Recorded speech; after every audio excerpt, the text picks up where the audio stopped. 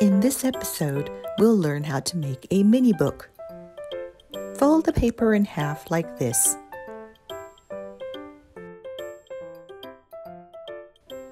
Then fold the paper in half like this again. Keep folding until you have eight squares.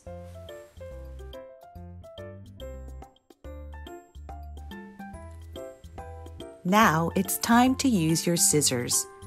Fold the paper in half and cut halfway through. Do you see the hole? Now fold the flap outwards.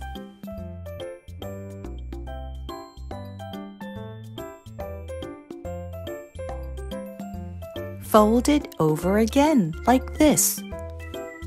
Ta-da! This is your mini book. Look at all the pages you have. I'm really excited about this project. What kind of stories or what kind of projects could you do with this? Tell me.